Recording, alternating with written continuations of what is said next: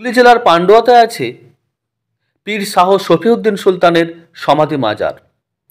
পাণ্ডুয়া অঞ্চলে ইসলামের আদর্শ প্রতিষ্ঠায় এই সুফি সাধকের মাহাত্ম সেই সময়ে এতটাই জনপ্রিয় হয়েছিল যে তার কাহিনী জনশ্রুতি ও রূপকথার কল্পনায় মিশ্রিত হয়ে মুখে মুখে প্রচারিত হতো।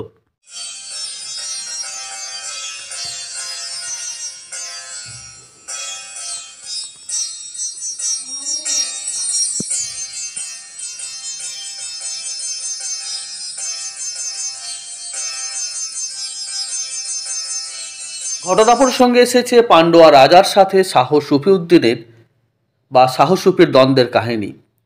তবে এই পান্ডুয়ার রাজা কে ছিলেন সে সম্পর্কে নির্দিষ্ট কোনো তথ্য পাওয়া যায় না।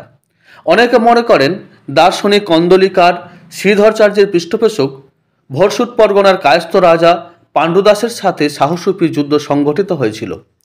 কিন্তু সময় কাল ও স্থানের দিক থেকে বিচার বিশ্লেষণে এ মত সমর্থনযোগ্য নয়। শাহসুফির মাতুল ছিলেন দিল্লির সম্রাট দ্বিতীয় ফিরোজ শাহ। অনেকে মনে করেন দ্বিতীয় ফিরোজ শাহের ভগিনী পান্ডুয়াতে বসবাস করতেন, সেই হিসেবে শাহসুফি ছিলেন পান্ডুয়ারই বাসিন্দা।